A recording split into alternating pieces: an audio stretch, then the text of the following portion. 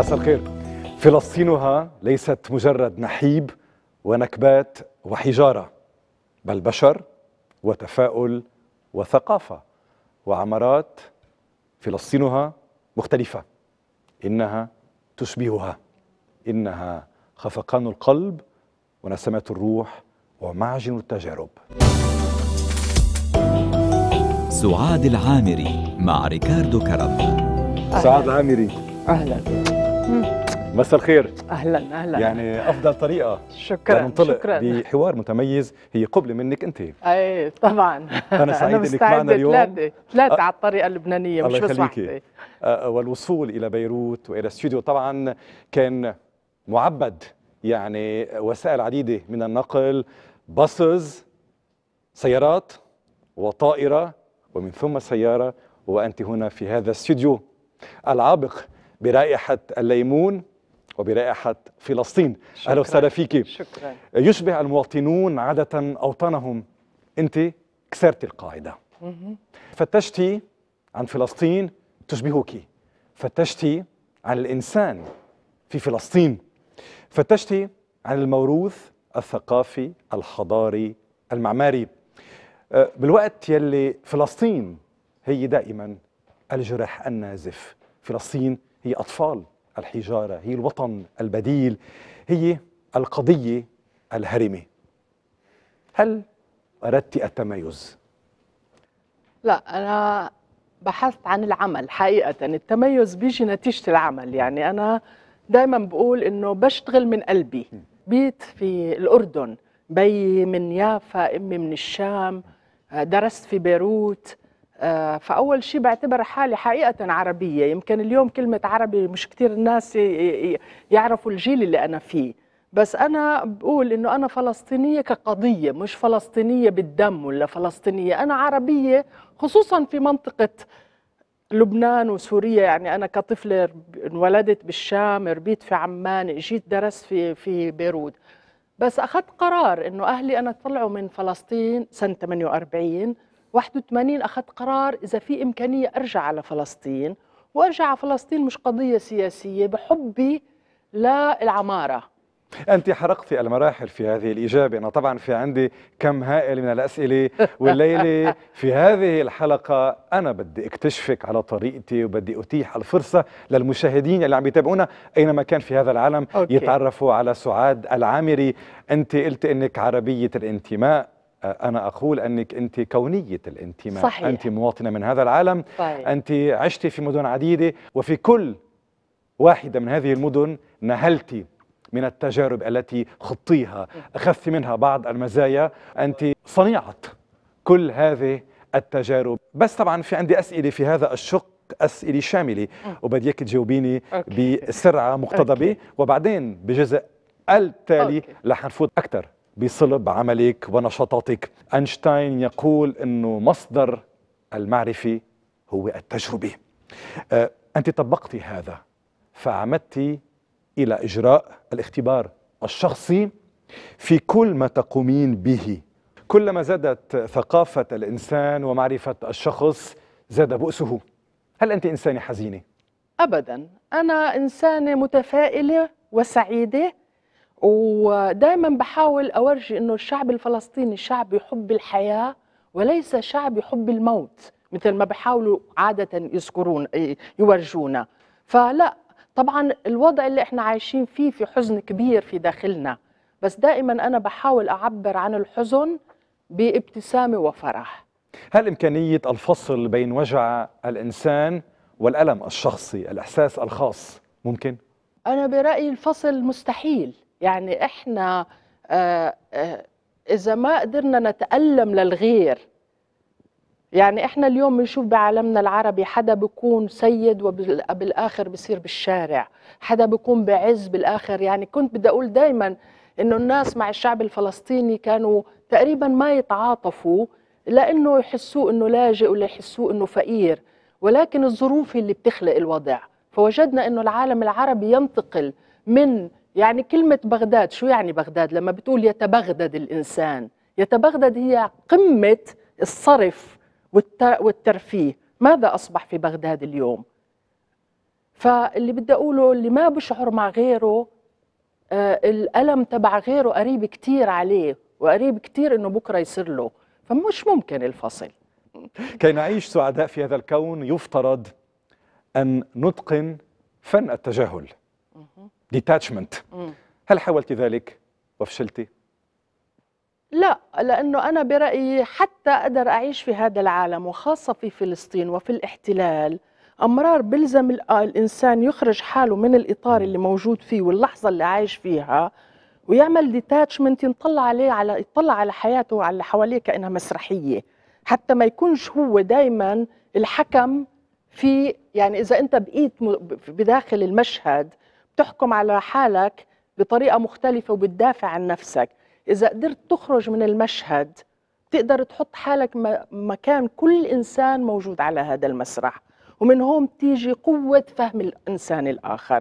وأنا برأيي مشكلة الإنسان إنه ولا للحظة بعمل التجربة هاي إنه أنا أخرج من مين أنا. يعني أنا أنثى. بحب مرات أخرج لأفكر الرجل كيف بفكر. أنا آآ آآ آآ غنية بحب أخرج أفكر الفقير شو رأسه. فأنا بعتقد أنه الديتاتشمنت هاي واحدة من طرق فهم الإنسانية لأنه إحنا مربيين أنا وإنت وإنت وأنا وأنا وإنت غيري أنا غير عن إنك إنت وبنعمل حرب بالآخر. بس إذا أنا قلت أنا بشبهك بشبهك كتير بس أنا ظروفي شوي اختلفت عنك. وأنا عم بحاول أفهم ليش أنت بتفكر هيك بصير في صلة وصل مش إنه أنا صح وأنت غلط. وبعدين الظروف اللي بتصنعنا. وكلنا بدنا نفس الشيء بالحياة. شو بدنا؟ بدنا عيش عيشة آه، ب- بكرامة. الظروف تصنعنا يمكن لكن أيضا نصنع ظروف نحن. طبعا. يعني أنا بتعب من الناس اللي بيقول لي إنه أنا أمي قالت لي هيك وبيه طيب خلقونا وخلصنا يعني. بس إحنا موجودين في هذه الحياة ولازم ناخذ المبادرة بتكوين أفكارنا. ومرة تانية بقول أنا بدافع عن إشي اللي أنا اخترته بس ما بدافع عن الشيء اللي انفرض علي. من يعمل يجني ومن ينام بيحلم. ناس- بعمل التنين وفي ناس بيحلموا هن واعيين. هل أنت إنسانة حالمة أم واقعية؟ حقيقة التنين مع بعض. يعني اللي بدي أقول أنا بحلم مشان أعمل واقع. آخر حلم مر عندك وبخيالك وبفكرك شو هو؟ إنه يرجع يكون في دول بالعالم العربي. العمارات المتوغلة في التاريخ بتأسرها والموروث الثقافي الفلسطيني هو هاجسها وأسرار الطبيعة تلهمها وتتنفس كيفما جالت وصالت حضارة. استراحة ونعود.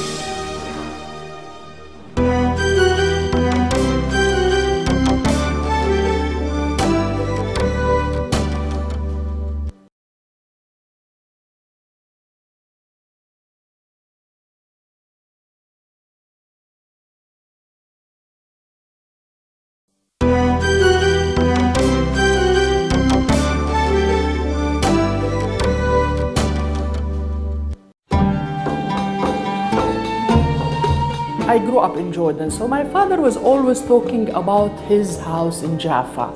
When I came to the first time in uh, my life to Palestine, I was intrigued that the number of villages were 420 villages that exist now in West Bank and Gaza. So I have a mission of protecting the remaining 50% of what has been destroyed. So the first 10 years of Ruwaq's life were practically experimentation and documentation. But in 2001, when Intifada started, unemployment rates were very high in Palestine.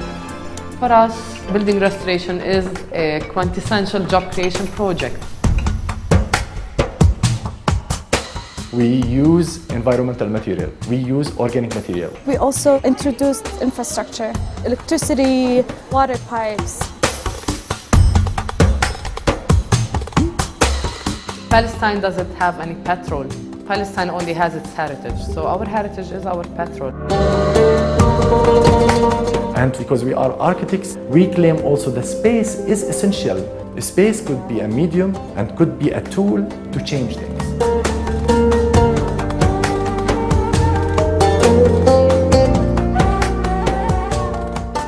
هكذا أنت دائما تملئين الشاشة تملئين المنابر بحضور استثنائي ومحبب وجميل. هكذا تعرفت أنا عليك شاهدتك على اليوتيوب وقلت هذه هي الضيفة المختلفة. يجب أن نتصل بها ويجب أن ندعوها إلى برنامجنا وهكذا كان. نحن اليوم سعداء أنك اليوم معنا في هذا الحوار الاستثنائي. أصدقائي المشاهدين نتلقى تعليقاتكم وأراءكم عبر موقعنا الإلكتروني الخاص www.ricardokaram.com وعبر موقعي التويتر. على العنوان ريكاردو آر كرم وعلى صفحة الفيسبوك كرم ريكاردو. الروائي الفرنسي أناتول فرانس قال ليت القائد العسكري شارل مارتيل قطعت يده ولم ينتصر على القائد الإسلامي عبد الرحمن الغافقي في معركة بواتيه ما سبب تراجع العلم والحضارة العربية أمام بربرية الفرنج. سعاد العامري أنت عاشقة للحضارة المعمارية. ماذا تقولين اليوم وأنت تشاهدين تقهقر الفن المعماري الأصيل أمام البناء العشوائي التجاري؟ حقيقة شيء بحزن لأنه إحنا كبني آدمين لازم نحافظ على كل طبقات اللي موجودة عندنا في التاريخ. اللي بدي أقول لك إياه إنه أنا مين أنا؟ أنا جزء مني روماني وأنا جزء مني يعني أنا سعاد العامري كل طبقات اللي موجودة في فلسطين بتمثلني أنا بمعنى يعني هذه فكرة إنه إحنا فقط فلسطينيين أو فقط كذا وكذا وكذا النقاء هذا اللي بتحدثوا عنه كمعمارية دائما في فلسطين بفكر إنه أهم شيء إنه نقدر نحافظ على كل الطبقات التي وجدت وجعلت فلسطين فلسطين سواء الطبقة الرومانية أو الجريكية أو المسيحية أو اليهودية أو الجر- ال- ال- ال- آه، العثمانية المملوكية نامت كل هذه تكوينات موجودة عندنا. وأنا بعتقد أنه جريمة كبرى أنه بالعالم العربي بما فيها بيروت وبما فيها رام الله وبما فيها نابلس وبما فيها عمان. ما منحافظ على الطبقات تكويننا الذاتي يعني أنا مين أنا؟ أنا من المحيط المتوسط. والمحيط المتوسط في كل هذه الحضارات سويا. لكن للأسف ال ال ال التجارة اليوم بس بتحسب حسابات ربح وخسارة تتناول عشر سنين من هلأ ل- لقدام. لا بيفكروا في تاريخ لا بيفكروا في أطفال لا بيفكروا في مستقبل لا بيفكروا أنه فلسطين يجب أن تكون شكلها فلسطين ويحافظ عليها كفلسطين. لأنها فلسطين لأنه إحنا عنا عمارة تمثل كل هذه الحضارات. للأسف تدمر جميع الطبقات التاريخية مشان نعمل عمارة مش واضح هي موجودة في باريس ولا ببيروت ولا بالقدس. أنا بعتقد أنه العالم العربي كله عنده مشكلة أساسية بأنه لا يحترم ثقافته وحضارته. دائما ينظر إلى الغرب بأنه هي ال- ال- الشيء الأفضل. لأنه يجهل ثقافته وحضارته. يجهل كثر ويدمر. يجهلون. يعني أنا لو جهلت وتركتها معلش بس أجهل وأدمر. بعد شوي ما حدا يعرف كيف كانت بيروت أو كيف كانت القدس أو كيف كانت رام الله. أنا برأيي جريمة. أنت كما سبق وذكرت في القسم الأول من حوارنا الليلي آه، تنتمين جذورا إلى يافا وأبصرت النور في الشام آه، بعد ثلاثة أعوام من التهجير في العام 51 عشت في عمان انتقلت إلى مصر فبيروت قبل أن تنطلقي إلى رحاب هذه الدنيا. زرت فلسطين لأول مرة بالعام 81 آه، حصلت على تصريح مدة ست أشهر آه، وها قد مضى على وجودك في فلسطين 33 عام ما الذي شدك إلى جذورك؟ هل هو زواجك من ابن البلد لا أنا تعرفت الأستاذ على سليم تماري سليم عليه. تماري أم نسمات فلسطين أم بحثا عن ذاتك؟ خبرينا بالنسبة لي فلسطين مثل جنوب أفريقيا يعني في قضية إنسانية مش كوني فلسطينية أو نص فلسطينية. آه كل عربي من غير ما أفسر كل عربي يعني جزءا فلسطيني. حتى لما بسب على فلسطين بحبها. يعني في عنا إحنا جرح عربي موجود أو جرح إنساني. يعني التلياني يتعاطف واليوناني وال- والكل يتعاطف مع فلسطين. فبرأيي إنه جزء فلسطين هذا جزء ظلم. وأنا إنسان بكره الظلم مهما إنوجد في أي مكان في العالم. وبعتقد إنه آه، إحنا مثل الشجرة. يعني أنت لما أبوك دائما بتم يحكي على بيته بيافا وكيف كان يقطع البحر يمكن صرت architect لأنه كل الوقت ببني models لفلسطين كيف شكلها لفلسطين أحلى من لبنان مش أحلى من لبنان شكل الليمونة. فدائما كان عندي مثل أي إنسان عربي عنده حب إنه يوصل للقدس ولا يوصل ليافا يوصل لفلسطين. فهذا لا يميزني. بجوز اللي ميزني إنه أخذت الخطوة اللي أمي قالت فيها أنا مجنونة هل إنه فاجأتك فلسطين في الواقع في آه. العام 81 فاجأتني كثير فاجأتني بعده ايجابا سلبا؟ تنين حقيقة التنين آم، إيجابا بالجمال. في حينها لأنه الطبيعة في فلسطين كانت جميلة كتير تخربت في آخر 30 سنة. فاجأتني جمال القدس ويافا يعني الجمال فاجأني. وين خذلتك؟ خذلتني بالفلسطيني المتخوف. يعني الفلسطيني مش إنسان أنا عشت في بريت فلسطين. فعندي انفتاح على بيروت على الشام على عمان. الفلسطيني بسبب الاحتلال خذلني بشغلتين. أولا حذر جدا وغير منفتح وشوية عنده تخوف من الآخر والانعزال. ما أحزنني أكثر شيء ولا يزال يحزنني في فلسطين هو انعزال الفلسطيني عن العالم العربي. الغرابة بالعملية أنه الفلسطيني آه، تناثر في مختلف بقاع العالم العربي صحيح. وذاب في المجتمع العربي ويمكن المجتمعات العربية وخصوصا في الخليج تطورت تقدمت لأنه الفلسطيني كان موجود. مم. يعني سواء في التعليم وفي التثقيف وفي التجارة آه، وفي البناء آه، الفلسطيني كان هو الرائد والمتميز. صحيح. غريب أن يعيش فلسطيني الداخل هذا الانعزال بالوقت اللي فلسطيني الشتات أو الفلسطيني يلي طبعا تمكن من العيش في الخارج أن آه، يفتح ذراعيه نحو آفاق واسعة وبعيدة وأن يذوب في حضارات وثقافات العالم ككل.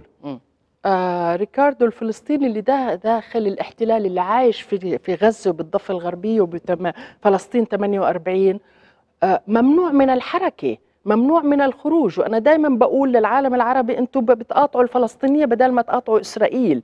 يعني قديش صعب لفلسطيني إنه يحصل على فيزا يروح على سوريا ولبنان السعودية نيمت فأنا برأيي إنه في عزلة على الفلسطيني وأنا بحزن. كثير اهون يطلع فيزا يروح فيها على روما أو على اليونان أو على أمريكا. أنا بحكي ثقافيا. الجيل الجديد في فلسطين يعني إذا بقول لك أكثر شيء ببسط فلسطيني إنه يوصل بيروت حلمه الكبير إنه يوصل بيروت أكثر من ما يوصل نيويورك. العزلة الثقافية أنا اللي تحزنني بالشعب الفلسطيني وهذه اللي حسيتها خذلتني بمعنى إنه فلسطين معزولة ثقافيا. سعاد العمري آه، زوجك أستاذ في علم الاجتماع وخياتك واحد اختصاصية في علم النفس والثاني في علم الاجتماع ووالدك كان مؤرخ ورئيس رابطة الكتاب. لكن سعاد العامري اختارت الهندسة المعمارية والدة سعاد ابنة العام 1920 كانت تملك دار نشر وولدها ابن العام 1907 كان متحرر. متحرر بين أبناء جيله آه، وأعد قصص حول المرأة العربية.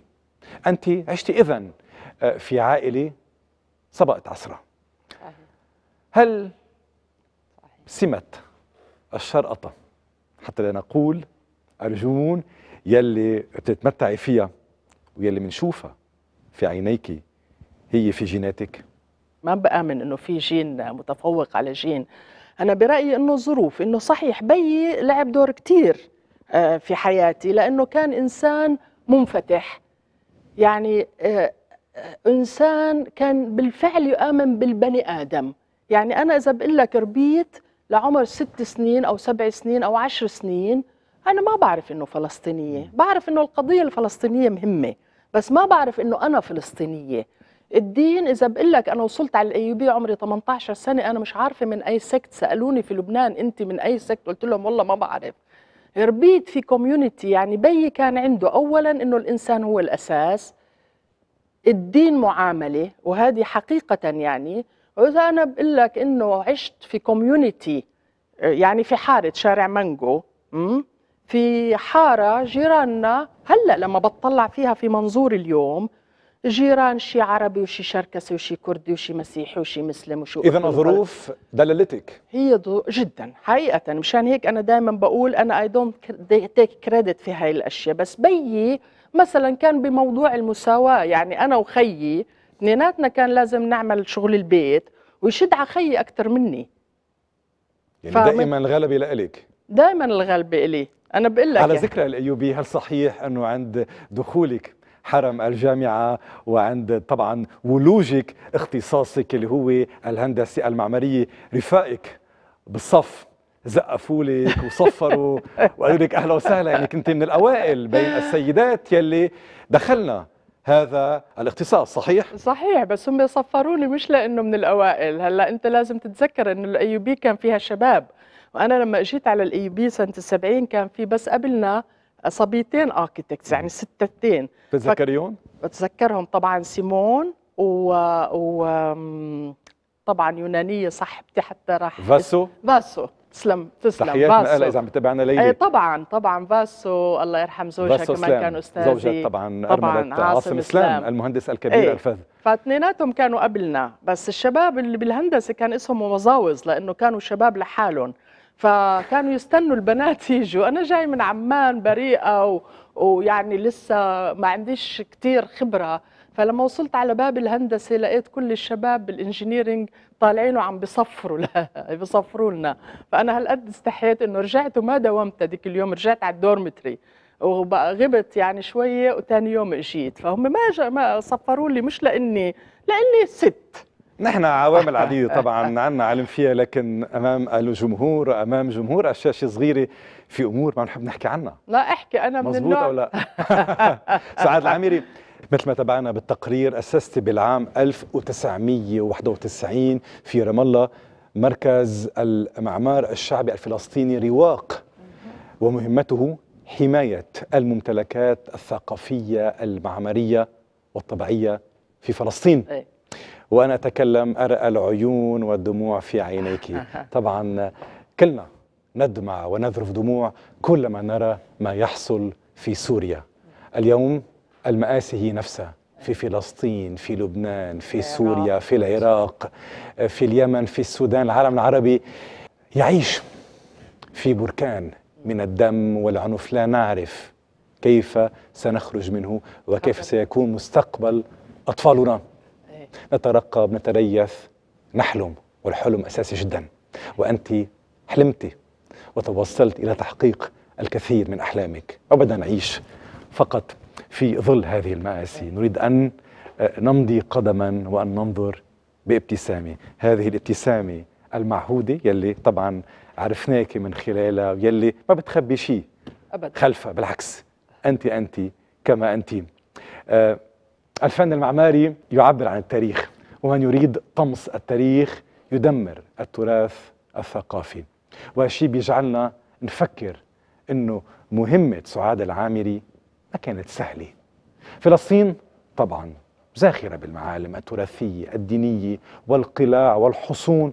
فيها المسجد الأقصى اللي هو أولى القبلتين وثالث الحرمين وفيها أيضا كنيسة القيامة وكنيسة المهد.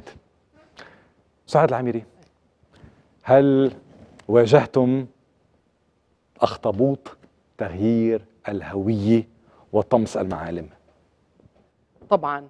يعني أنت عارف هو سألتني أنا ليش اشتغلت بالعمارة. إذا بدنا نطلع على فلسطين ونشوف إنه شو ال شو ال الصراع بيننا وبين الإسرائيليين. هو الصراع على الأرض والصراع على هوية الأرض. وأول شيء عملوه الإسرائيليين بعد ما تكونت دولتهم من عام 48 إلى 52 إنه جابوا البلدوزر وبلشوا يهدوا 420 قرية. وهي ال 400 هذا الهد اللي هو عملية تهويد آه، فلسطين أنا برأيي هو الأساس. يعني الإسرائيليين بيشتغلوا بطريقة إنه في أمرار أنت ممكن تسوق بفلسطين اليوم وما تصدق إنه قبل 65 سنة كانت دولة عربية. فالصراع على الهوية آه، أساسه في فلسطين هو تغيير معالم التاريخية والجغرافية آه، لفلسطين. ومن هون إجا حبي في حماية المباني التاريخية لفلسطين. لأنه إذا ما حمينا المباني التاريخية صعب أورجيك إنه هاي كانت فلسطين دولة عربية بس قبل 65 سنة. تأثرت بالعمارة اللبنانية آه، والشامية والإيطالية. آه، أنت تعيشين قسم آه، من السنة في إيطاليا. أنت تنزهتي أي. وجلتي بأبحاثك بالعين المجردة في بلدان كتيرة أي دولة إذا هلأ أغمضت عينيك وتجاوزتي لحظات وطنيتك والتعلق بأرض فلسطين وتجاوزتي العروبة أي. يلي هي مشحونة أنت فيها منذ صغرك تحلمي تعيشي فيها. لبنان. كما هو اليوم؟ لا. مش كما هو. يعني أنا بدي أقول لك بيروت لعبت لك هل لبنان هو واقع أم ذكريات وذكرى؟ تنين بس ذكرى قد تكون أكثر. وبرغم من هذا الواقع المرير بتفضلي تعيشي ببيروت. مش بفضل أعيش ببيروت لا يمكن لازم أقول إنه البلد اللي قريبة على قلبي ما بحب أعيش ببيروت الأغلب. بس ال- البلد اللي كونتني والبلد اللي بقلبي قوية كتير حقيقة هي بيروت. بجزء لها علاقة إنه آه، مثل ما قلت لك أمي شامية وإحنا صغار كنا نيجي على بيروت وبعدين بالأيوبية عز شبابي طالعة من عمان من بلد يعني متواضعة جدا وباجي على بيروت كانت زي واحد بيروح على نيويورك أو لندن اليوم. ففي بيروت لها محبة خاصة. بس للأسف اللي بدي أقول لك إياه أنا بروح على إيطاليا وقررت إنه أكون جزئيا إيطاليا لسبب واحد. إيطاليا بالنسبة إلي هي دولة عربية لو لو لو ما عاشت الدول العربية بالمآسي اللي عاش- عاشتها. يعني بروح على نابولي لأنه مش قادرة أكون ببيروت أو مش قادرة أكون بيافا بنفس الطريقة. دايما بقول لهم أنتوا عرب محسنين شوي الظروف ساعدتكم. فاختياري لإيطاليا مش اختيار عبثي. هل فلسطين هي حقل التجارب وإيطاليا هي النافذة على الأحلام؟ لا حتى أقدر أعيش بفلسطين لازم أكون شوي بإيطاليا. أنجزت عبر رواق مؤلفات عديدة وفي عندي أسئلة سريعة إذا في مجال ماذا حققت رواق على أرض الواقع؟ رواق للمشاهد هي عبارة عن مؤسسة لا ربحية موجودة في فلسطين لحماية التراث الفلسطيني حققت شيء أساسي أنه ننقل فكرة المباني القديمة وترميمها من أنها هي قضية جمالية ترتبط في الطبقة المتعلمة والغنية إلى مهمة تشغيل يعني أصبح الترميم وإعادة التأهيل المباني التاريخية في فلسطين هي عندنا مشروع اسمه تشغيل. أنا صرت أشوف المبنى كم وظيفة أنا قدرت أوفر بفلسطين. وبعتقد النجاح اللي وفقه اللي, اللي قدر يوصل له رواق إنه شغل أعداد هائلة من الشباب في قرى مهمشة بفلسطين. صفت يعني طريقة لعدم البطالة. لما الناس بفلسطين لما بيشوفونا بيشوفوا منطقة حلوة ومرممة بس بيشوفونا مصدر رزق أو بيشوفوا الترميم بلاش يقول شوفونا. بيشوفونا مصدر رزق. يعني أنا لما بعمل آه، بحاول أجيب تمويل بيجيني 100 دولار ما بشوفهم 100 دولار. بشوفهم إنه أنا بهذا اليوم بقدر أشغل ثلاث فلسطينيين في ضيعة قاعد واحد فيهم على قهوة. وبرأيي إنه هاي المسج وصلت بفلسطين وأتمنى إنها توصل بالعالم العربي وأتمنى أن توصل في كل مكان لإدراك الناس إنه مش قضية جمالية حقيقة. يعني أنا كمعمارية طبعا بهمني إنه أحافظ على تاريخي أحافظ على هويتي كفلسطينية بس باللحظة هاي بهمني إنه أخلق فرص عمل وظائف لبليط لقصير وكتير أمرار إحنا منتعاون مع الناس بنقول له إذا أنت بتدفع 50% أنا بدفع 50% وال 50% اللي بدفعها هو مش فلوس. عم نتابع آه، بعض الصور المختارة من مؤلفاتك وهي طبعا من أرشيف رواق الخاص. تنازلت جزئيا عن رواق للانصراف أكثر إلى هواية آه، ألمت بك مثل صفحة الهوى واللي هي الكتابة الروائية. هل بتشوفي أنه رواق اليوم في أمان؟ آه، اللي بدي أقول عملية المأسسة بالعالم العربي عملية كتير كتير كتير صعبة. وأنا برأيي رواق آه، آه، إذا بدي أحكي عن نجاح بدي أحكي عن نجاح إنه رواق لكل موظف فيها. يعني رواق أنا بزعل لما بقولوا رواق سعاد وكتير ناس بيقولوا رواق سعاد بس أنا برأيي إنه قدرت خلال 22 سنة أشعر الموظفين إنه رواق رواقهم. كل واحد منهم ركن أساسي كل في واحد رواق ركن أساسي وقدرت بسهولة إنه يعني إذا بقول لك أنا إنه بيشتغلوا أحسن وأنا مش موجودة. يعني في أول ما تركت قلت لهم إذا بدكم شيء تلفنوا لي كانوا يتلفنوا لي كل يوم. بعد شهر صاروا يتلفنوا لي مرة بالأسبوع. بعد شهرين مرة بالشهر وبعدين بطلوا يتلفنوا لي نسيوكي؟ نسيوني بعرفش إذا نسيوني لأنه؟ محبب القلب بس إنه إلى طبعا أسرة رواق يلي شكراً. طبعا ليلي عم بتتابعنا وكل اعضائها عم بيتابعوا هذا الحوار المختلف تضحك كثيرا وهي تهمس من صفات حب الكلام أنا حكواتية وتنظر في الأفق كثيرا تتمعن وهي تخبر كتبت ما كتبت بقلبي بجوارحي ثم بقلمي.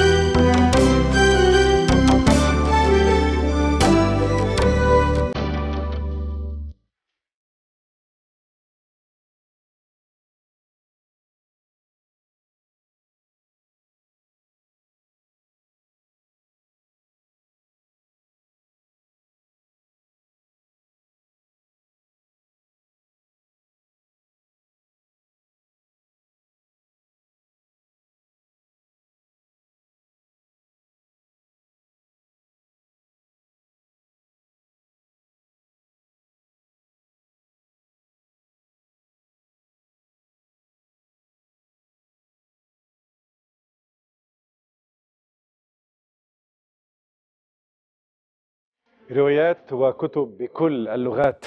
سعاد العامري كتبتي ما كتبتي كتبتي ما عشتي كتبتي بصدق. هل هذه الصفات كفيلة بجعل مهندسة معمارية روائية ناجحة؟ يعني هذا كله أنا اكتشفته بتغيير مهنتي. يعني أنا صرت كاتبة على الخمسين ولسه على الستين بدي أصير ممثلة وبعدين على السبعين. فاللي بدي أقوله إنه على السبعين شو؟ ما بنعرف لسه مؤدية، نترك المجال؟ مغنية مؤدية مغنية للأسف الموسيقى عندي دان مش كتير حساسة للموسيقى صح؟ شيء الشيء الوحيد اللي ما بقدر أسويه بالحياة إني أغني بس كل شيء تاني ممكن أها. أنت إلى حد ما مثل ما قلنا متميزة مختلفة وعندك نوع من الجنون كي لا أقول. مجنونة أه، تحب سعاد العامري الأشخاص غير التقليديين صحيح المجانين. الذين يشرقطون أفكار وعبورها إلى معترك الكتابة كان سببه أيضا جنون صحيح. لكن من نوع آخر فبعد ما وجدت نفسها مع حماتها الست أم سليم ماري جبجي اللبنانية الأصل ابنة التسعين عاما في مكان واحد في رام الله. تعيشان حصار أريال شارون كادت حماة سعاد تجننها صحيح. فكتبت. ماذا كتبت؟ كيف كتبت؟ ومن قرأ أولا؟ إجابة عندك أنت. هو صار عندي احتلالين دائما أنا بقولها يعني دائما كان عندنا احتلال إسرائيلي لقيت حالي عندي احتلال داخلي من حماتي. وهذا الضغط آه، حقيقة إنه أنا كانت الكتابة بالنسبة لي حتى أحافظ على نفسي من الضغط. يعني في ضغط شارون وجيشه برا وفي ضغط حماية قاعدة عندي في البيت. فكنت بآخر النهار أروح وأقعد أكتب كل شيء صار معي سواء لما يرفعوا حظر التجول شو بيعملوا فينا الإسرائيليين ولما نكون في منع التجول شو بتعمل فيي حماتي. وأنا بعتقد إنه أساسا لأنه ما كان في قارئ كان في نوع من الصدق الكامل. يعني لما بعثت لبنت أختي ولاصحابي يقروا الإيميلات قلت لهم أرجوكم ما تنشروها لحدا. فهذه النقطة الثانية اللي بدي أقول لك طيب إياها حماتك اللي عم تحكي عنها إيه. هل هي بتشبه الحموات؟ آه، وهذه الصورة النمطية السلبية يلي مطبوعة بأفكار الناس إنه الحما متطلبة متسلطة بتشارع بتحكي. يعني شو هي الميزات يلي آه، جعلت منا إنسانة نافرة بالنسبة لك أنت يلي خلتك شوف. بالتالي أو- تكتبي ما كتبتيه إيه. وطلعي هذه الرواية يلي أصبحت بالتالي آه، آه، من الروايات الأكثر مبيعا اللي بدي أقول لك إياه لو ما كان علاقتي منيحة مع حماتي كنت أحبها وتحبني ما قدرت كتبت آه. عنها آه، اللي بدي أقول لك إياه الكتاب نجح لأنه كل واحد منا عنده حماية وكل واحد عنده شعور تجاه الحماية مختلف فالحماية هي شيء شيء أممي مثل ما بتقول فمن هذا السبب فهموا الناس يعني اللي بيكره حماته فهم واللي بحب حماته فهم. طيب شو كانت ردة بس فعلها أنا هي؟ كانت نقطتي ريكاردو كالتالي إنه الاحتلال هو آه، يعني يمنعك من الحياة. يعني أنا بس عندي حماتي في البيت عمرها 91 سنة. بينما أي عائلة فلسطينية كان عندها سبع أطفال قاعدين في البيت وجوز وحماية وكلهم محشورين 42 يوم تحت منع تجول. فهي هاي كانت نقطتي. إذا واحد جنني بهاي الطريقة فما بال الناس التانيين. هلأ حماتي مثل كل الحموات اولا عنيده وأنا أعند منها بالرغم إنه أنا مزحت وتمسخرت عليها وحكيت أشياء بتضحك عنها بس بقيت هي الأساس. رمز المقاومة الفلسطينية. بديش أقول المقاومة بمعنى الطقطقة المقاومة بمعنى الاستمرارية. للإصرار إنه بدها تعيش حياة طبيعية. يعني في ضرب وقصف وهي بدها تكون لابسة أحلى لبس ولازم نحضر السفرة كل شيء يعني ولا صحن مش زي التاني. ولازم ناكل الساعة 8 وواحدة وسبعة. كله هذه رمزية لإصرار الشعب الفلسطيني لأنه بده يعيش حياته. وأنت كلبناني بتفهم شو يعني إنه واحد بكون عم بنقصف وبنفس الوقت بده يعيش وبده يلبس وبده هل قرأت ما كتبتي؟ حقيقة لا أنا بقول لك شغلة. أولا حماتي كانت 91 سنة كان نظرها صعب. كانت تقرأ فرنسي وكانت النسخة الفرنسية ما صدرت لسه. اللغة العربية كانت تحكيها طبعا بس القراءة الأساسية تبعها مثل كثير من هذاك الجيل اللبناني إنه أو فلسطيني لبناني إنه ما قريته. بس عرفت كانت تقول لي ليش عم بيجوا علينا الصحفيين؟ ليش بدهم يعملوا فيلم عنا؟ فأنا أمزح أقول لها أم سليم متذكرة لما اجيتي وقديش كنا مبسوطين أنا وياكي مع بعضنا؟ تطلع فيي هيك تقول لي مبسوطين إحنا كنا مبسوطين مع بعضنا. فما قريت بس عرفت عن عن الكتاب. تجدر إشارة إلى أنه كتاب شارون وحماتي شارون and my mother-in-law ترجم إلى لغات الأرض ونال عدة جوائز بين جائزة بريميو فياريجيو والطليان كانوا أول من آمن بقدرات سعاد الكتابية هذه. حتى هي حتى هذه اللحظة تعتبر نفسها كاتبة غير كل الكتاب. كاتبة خارج النص المألوف وقواعد الكتابة المألوفة. سعاد العامري كم تغالين أو لنقل تبالغين فيما تكتبين. كل شيء بكتبه حصل. بس كان بهمني جدا على فكرة الصدق في الموضوع لأنه بت بت يعني هو اندايركتلي بالنتيجة كل كتاباتي حول الاحتلال الإسرائيلي. فكتير كان بهمني إنه ما حدا أي إنسان غير مناصر للفلسطينيين أو مؤيد للإسرائيليين يجي يقول لي مش صحيح الجيش ما حطكم تحت منع التجول مش صحيح الجيش ما حط الحج فمن ناحية الدقة كل شيء موجود فيه دقيق لكن مثل لما بتروي نكتة. في بهار وفي ملح. إيه يعني بتبهرها شوية بس مشان توصل ولكن الصدق صحيح. آه، هذا الكتاب الأول تحول إلى مسرحية. مم. آه، والطليان آه، طالبوك بكتاب آخر. صحيح. فكتبت عن الإنسان الفلسطيني. كتبت سعاد العامري عن الإنسان وليس عن الوطن. كتبت النوادر اليومية للإنسان الفلسطيني. أرادت أن تقول أنه الفلسطيني إنسان عادي. لا إله ولا بطل. رفضت وضع الفلسطيني في كادر جامد. فلسطيني منغرم بيسهر بيفرح بيتألم. آه، يخطئ. فلسطيني إنسان مثل كل البشر تجربتك الشخصية شكلت العمود الفقري لكتاباتك وكتاب آخرون غير عرب سبقوك أيضا إلى هذا. في هذا الآيباد الموجود أمامك هنالك بعض الأمثلة. آه، دعينا نرى معا ما في قلب الحاسوب وما في قلب الآيباد. Okay, My Enemy, My Self. يورام هنالك بنور. صور لكتابين جون هاورد جريفين الذي بدل لون بشرته إلى الأسود صحيح. حتى يعيش تجربة السود وعنصرية البيض في الجنوب الأمريكي وعنوان الكتاب Black Like Me والكتاب الثاني هو ليهودي إسرائيلي يدعى يرام بنور. آه، تخفى في زي فلسطيني وعاش ستة أشهر في أحد مخيمات قطاع غزة كي يتعرف على معاملة اليهود الإسرائيلي للفلسطينيين وعنوان الكتاب My Enemy Myself. شو بتعلقي؟ أنا برأيي هي أهم شيء بيقدر الإنسان يعمله إنه يخرج من نفسه ويضع نفسه يعني يكون أبيض ويعيش ويعيش تجربة شو يعني إنه يكون الواحد أسود في دول عنصرية مثل أمريكا مثلا. أو شو يكون أسود في جنوب إفريقيا أو شو يكون عربي في دولة صهيونية أو فلسطيني في إسرائيل.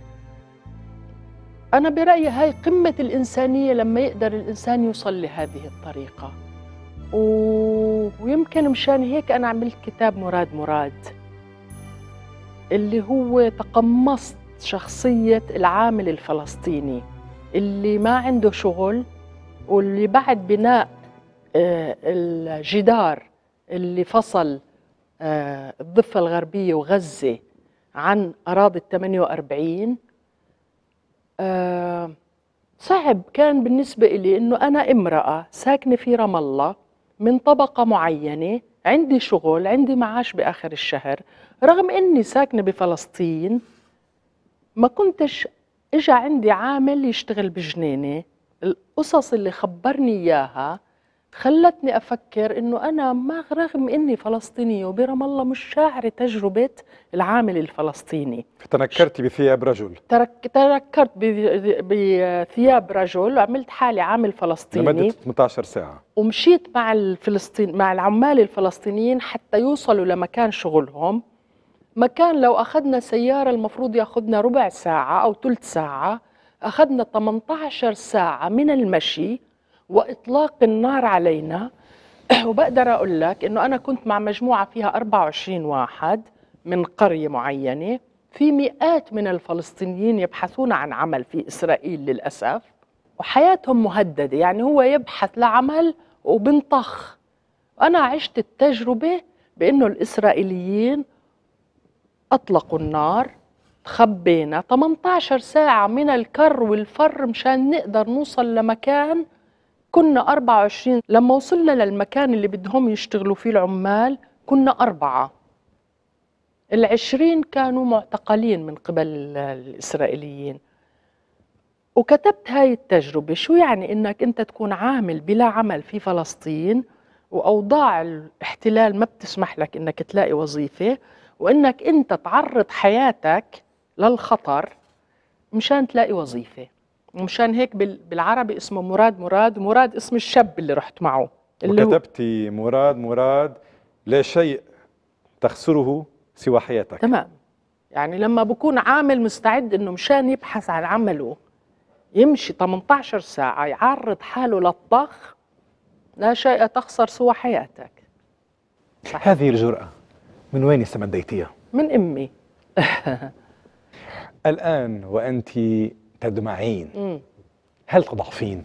لا. هل أنت إنسانة لا أنا ضعيفة؟ برأيي إنه البكاء والضحك نفسهم نفس المشاعر هل انكسرتي في يوم من الأيام؟ ابدا هل في مشهد معين كنت أنت شاهدة عليه تابعتيه إيه؟ يمكن على أرض الواقع يمكن من خلال الشاشة الصغيرة أثر فيكي وخليك تنكسري وتحسي حالك إنك صغيرة وإنك ضعيفة إيه. وإنه الدنيا كلها أقوى منك والظروف مهما حاولتي ومهما جاهدتي هي دائما أقوى منك. طبعا. أول شيء ما بحب تم أحكي وأنا في دمعة وبس عم تيجي الدمعة. آه، اللي بدي أقوله إيه يعني دائما أنا بحس إنه بدي أطلع حتى أفهم الوضع خارج. ومثل ما حكيت لك في جرأة يعني إنه بروح. المرة الوحيدة اللي حسيت بكسر حقيقة إنه ما قدرت أسوي شيء إنه بالانتفاضة الأولى كان في جيش إسرائيلي اجى واعتقل ولد يمكن عمره تسع سنين. وأنا كنت مرقه بالسيارة وشفته عم بيعتقله فوقفت السيارة ونزلت مشان أمسك ال... طلع ال- ال- الجندي. بندقية البندقية وهددني. وقال لي إذا بتقربي عليه بطخ عليكي فخفت طبعا. فلفيت ظهري وركبت بالسيارة وتركت. وبقيت كل نهار أفكر بهذا الولد بعد في عندي سؤال واحد في هذا الشق بدي ريحك طبعا إيه، بتخيل تعبتك لا لا ابدا ما آه، تعبتي كتبتي عن فلسطين في سن اليأس إيه هل دخلت الدولة في مخاض الاستسلام؟ هل تعيش القضية خريفة؟ وهل تعيش على أنقاضها؟ قضية ما بتعيش خريفها بجوز الحركة السياسية بتعيش خريفها منظمة التحرير الفلسطينية بتعيش خريفها جيل بعيش خريفه بس كقضية بس أنه جيل شاب وجيل من الأطفال الذين يجسدون المستقبل صحيح. الواعد والمشرق يعيش خريف لا. فهذا في قمة الانكسار والإستسلام لا أنا برأيي أنا بحكيت في هذا الكتاب عن جيلنا عاش خريف. بس أحلى شيء بالتاريخ إنه دايما في أجيال جديدة بطاقة جديدة وهذا اللي عم نشوفه بالعالم العربي. متجددة. متجددة. ربت غزال وسعدان وسلحفات وقطة وكلب وقنفذ وسرحت في طبيعة الكون والبشر وعادت بحب كبير. كبير.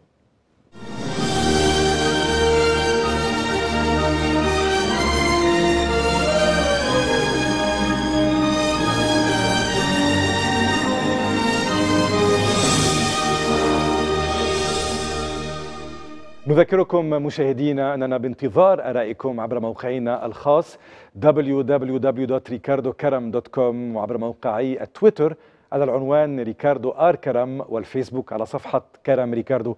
سعاد العامري نشعر وأنت تتحدثين عن الأشياء عن المحطات عن الأشخاص بحب كبير.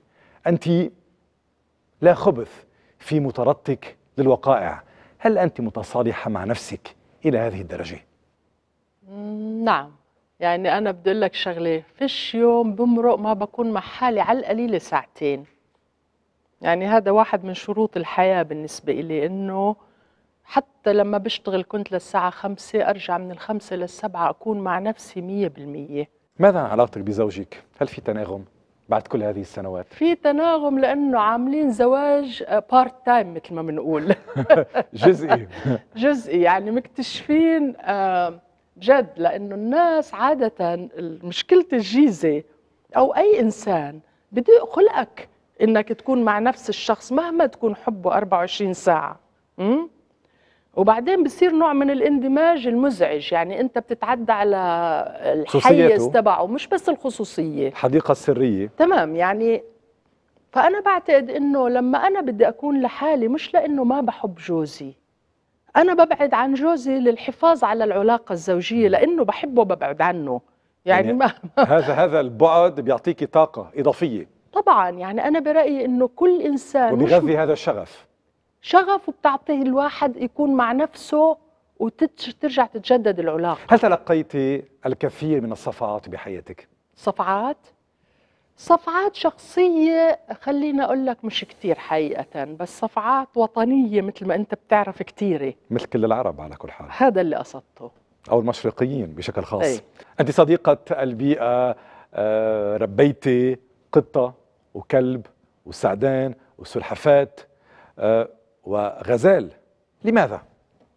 حقيقة إنه أمي كانت تحب الحيوانات كتير وكانت تحب الطبيعة فأنا بدي أقول لك لما كان عمري يعني ولدت في عيلة فيها أخ فيها أختين وأخ وكل اللي ذكرتهم يعني كانوا جزء من العيلة بالنسبة لي الغزال أخوي والبسة أختي يعني حتى الكلب كان يوصلني على المدرسة.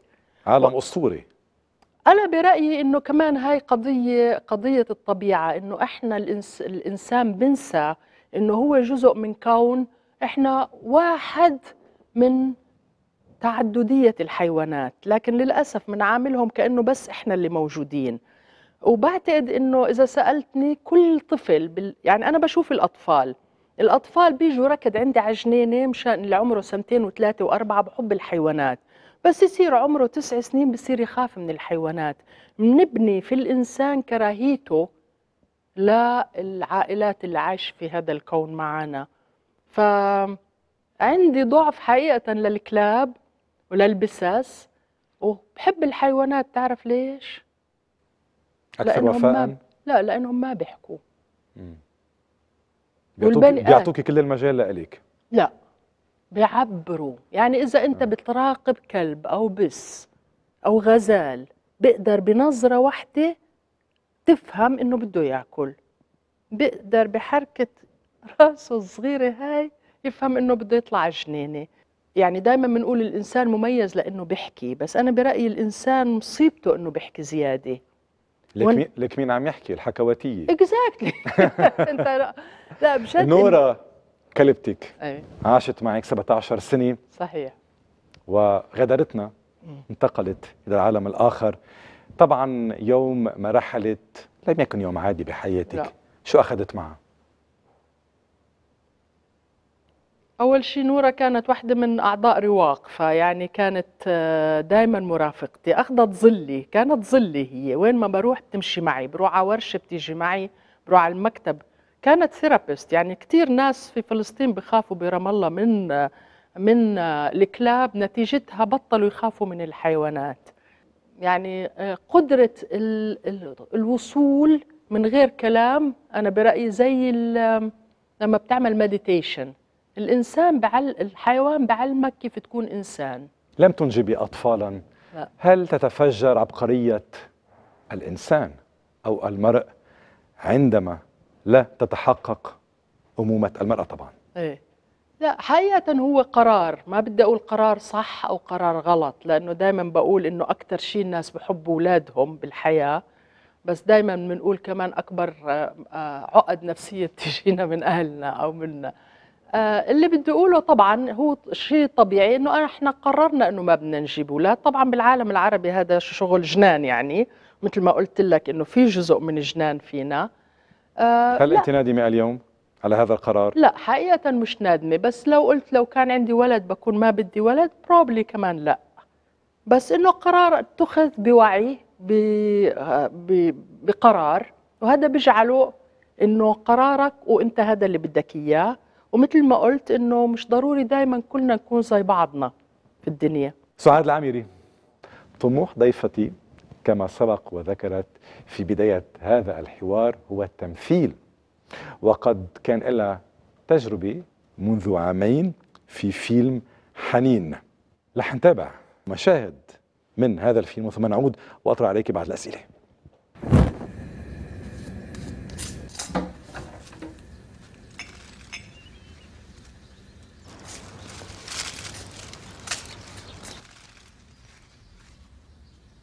شو اسمك؟ تعال خفش تعال شو اسمك؟ سالم طيب تعال كل يوم. كل قد ما بدك. سعاد العامري هذا التنوع يلي انتهجتيه بحياتك. هل هو نتيجة تحول بداخلك؟ أنا بعتقد إنه لما بيكبر الإنسان بصير عنده فريدم أكتر. وبصير يعمل الشيء اللي بحبه أكتر. وبنفس الوقت أنا بعتقد إنه الإنسان بيقدر يعطي للتسعين. يعني أنا بالمكتب بمزح معهم بكونوا بيقولوا لي إمتى بدك تيجي تحضر الاجتماعات؟ بقول لهم لل 91 92 تقريبا. فاللي بدي أقوله إنه حقيقة من دون مبالغة أنا بشعر إنه آخر خمسين سنة من حياتي رح يكونوا أحلى وأكثر إنتاجية من أول خمسين بحياتي. برضو هاي بدي أكسر القاعدة. حزت مؤخرا على جائزة الآغا خان آه، للفن المعماري. مبروك عليك الله يبارك هذه فيك. الجائزة. الله يبارك فيك. التقدير ماذا يفعل بك؟ ماذا يعطيك؟ ماذا يمنحك؟ خليني أآمن باللي بعمله. يعني هو الجائزة عبارة عن حدا بيجي بيقول لك إحنا شايفينك ومقدرين اللي بتعمله. أنا برأيي هذه شغلة كتير مهمة إنه تقول لواحد يعطيك العافية. يعني أنا مرة جبت قصير لعمارتي قصر يعمل قصارة أحسن قصير. كنت أفوت على العمارة ما أشق على كل العمال إلا هو. فإجا يوم قال لي أنا زعلان منك. بقول له خير ليش زعلان مني؟ بقول لي ما عمرك اجيتي جبت القدة اللي هي المسطرة وشفتي كيف شغلي وقلتي لي يعطيني العافية. قلت له أنا بعمل هيك لأنه متأكدة إنك أحسن واحد فما بشرف عليك. قال لي كل إنسان منا بده كلمة الله يعطيك العافية أنت تعمل شغل حلو. أنا بالرأي إنه الجائزة أنت تكون قاعد برام الله تحت احتلال تعمل شغل في قرية تشعر إنه العالم مش داري فيك لتكتشف إنه لأ في أهم مؤسسة معمارية قاعدة بجنيف وبأمريكا تعرف إنه في آه، كم شخص في فلسطين معنيين بخلق فرص عمل لعمال؟ أنا برأيي هذا آه، تقدير هاي هي الجائزة إنه حدا بقول لك اللي بتعمله آه، من قلبك إحنا مقدرينه. ماذا تعني لك نقطة الصفر؟ مش متأكدة إنه في نقطة صفر في نقطة بداية بالنسبة إلي. ماذا تعني لك نقطة آخر السطر؟ بداية سطر جديد. اختمي بنقطة. اللي بدي أقوله شغلة واحدة إنه أتمنى على أنفسنا كلنا في العالم العربي نآمن إنه إحنا مواطنين متساويين آه، في دولة واحدة مهما كانت عرقنا أو ديننا أو لوننا كنا عرب ولا أكراد كنا شركس ولا أرمن ننتمي إلى دولة نكون فيها متساويين. واللي بيجعل قائد ظالم مش دينه ولا جنسيته لأنه القائد الظالم أو الرئيس الظالم موجود من كل الطوائف من كل الجنسيات من كل الديانات. العالم العربي عم بيواجه ضرب الدولة فكرة الدولة. بينما دولة مثل أمريكا فيها جميع الأديان وجميع الألوان وجميع الجنسيات إذا كان ما يطبق بالعالم العربي الآن صحيح فلماذا لا تقسم أمريكا إلى دويلات؟ جزء منها أبيض وجزء منها أسود وجزء منها كاثوليكي وجزء منها بروتستانتي وجزء منها مسلم وجزء منها يهودي. لماذا تطبق فكرة الدولة في أوروبا ويدافع عنها؟ وعندما نأتي إلى العالم العربي تطبق نظريات مختلفة علينا. بأنه يجب أن ننقسم إذا كان حدا علم التولرنس والتعايش في تاريخ العالم العربي أو العالم هو إحنا. بغداد سوريا لبنان فلسطين تعايشت فيها كل الأديان والجنسيات. ونحن نعيش لحظة يتدخل العالم لتقسيمنا وهزيمة شعورنا لدولة. دولة ما إلها دين دولة. الدين للجميع. سعاد العامري شكرا. حلقة استثنائية مع ضيفي استثنائية. أصدقائي المشاهدين بشكر وفائكم للبرنامج وبتمنى تكونوا استمتعتوا بهالحوار. على أمل اللقاء في القريب العاجل. تصبحون على خير وعلى دولة. شكرا.